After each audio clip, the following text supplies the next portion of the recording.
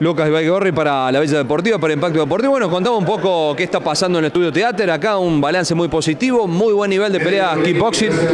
Hola, ¿cómo están? Eh, sí, estamos con un evento espectacular, el Final Conflict 13 World Series. Eh, contamos con 29 peleas, de cual 6 son profesionales, así como tenemos el mejor nivel de, de Argentina acá en lo que es kickboxing y Muay Thai. Muchos equipos presentes de toda la provincia, de Córdoba, de Carlos Paz. Sí, de, de acá de Córdoba casi todos los, los equipos eh, importantes están presentes y de Carlos Paz también, y también del resto del país. Así están los mejores deportistas están aquí en, en el FCC. La idea es seguir haciendo este tipo de eventos en Córdoba y en algunos puntos de, de diferentes puntos de, de Villa Carlos Paz, de Córdoba, de Argentina. Sí, sí, sí, la idea es eh, hacer varios eventos este año. Ya tengo planificado tres eventos, eh, uno en agosto y otro en noviembre.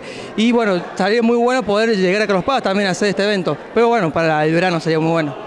Claro. Por el tema del turismo y, y- y iría mucha gente. Yo creo que sí, sería muy bueno para, para el turismo y bueno, también para el deporte, que bueno, que la gente también vaya conociendo lo que es el, lo que es el kickboxing, el MMA, también tenemos campeones ahí en Carlos Paz, como Matías Sosa, así que eh, sería muy muy bueno, muy positivo sería eso. Modalidad K1 también, no solamente kickboxing tradicional. No, acá hacemos eh, K1, eh, kickboxing y el Muay Thai. El Muay Thai y MMA, pero en esta ocasión no hay peleas de MMA.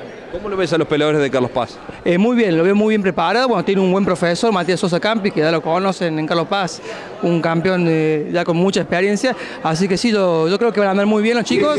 Así que bueno, esperemos ahora el main cara de cómo le va a Matías Drover.